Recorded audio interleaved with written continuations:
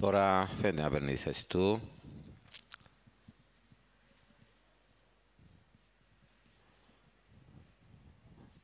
Όλα τα άλογα στις ρίδες τους. Και τώρα έτοιμα.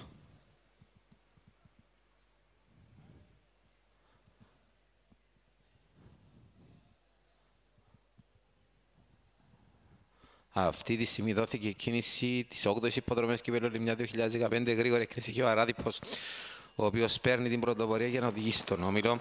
Και το μικρός Άλεξ ε, μαζί με το Διαγόρα για να βρίσκονται σε καλή θέση. Και ο πίσω του Σύρων Κιτιεύσο με λίγο πίσω σε αυτό το σημείο στην πρωτοπορία. Αράδηπο προηγείται ένα μήκος του μικρού Άλεξ και του Διαγόρα. Στη εσωτερική τρέχει σε καλή θέση η Μάγια Σάντι, ενώ στην εξωτερική τώρα βγαίνει ο Αιγαία καθώς και ο Ζήνο Κιτία. Ο Μίστερ Τόι τρέχει στην εσωτερική. Ο ακριβώς στη συνέχεια με Ζέιν Εύζον, κριτικός Σάντι Αναπόλικ. Πίσω του ομίλου στο χιλιάριο. Ο Αράδηπος βρίσκεται στην πρωτοπορία και προηγείται ένα μήκος του Διαγόρα. Και ο πίσω είναι με Σάντι με τον μικρό Άλες και τον Αιγαία. Ενώ και ο πίσω προσπαθεί και το φαβορή να βελτιώσει την θέση του μπροστά από τον Μίστερ Τόνι Ζήνο Κιτία και ο πίσω κριτικός Σάντι.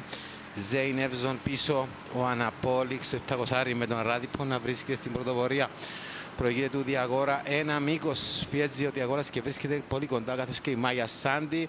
Από την εξωτερική τώρα προσπαθεί ο κριτικός Σάντι με τον άλλο υπόλοιπο λόγο έχουν μείνει πιο πίσω στο 400 τώρα με τον Αράδηπο στην πρωτοπορία ένα μήκος από τον Διαγόρα ενώ από την εξωτερική κάνει την εμφάνισή του και ο ακριβώς με τον Αράδηπο να βρίσκεται στην πρωτοπορία.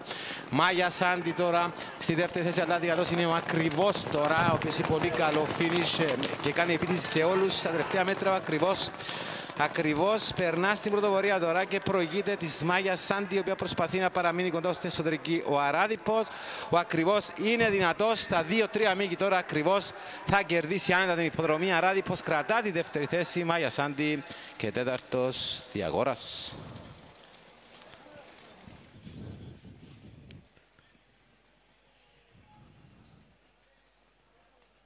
Βλέπουμε τα τελευταία μέτρα ακριβώς, δυνατός στα τελευταία μέτρα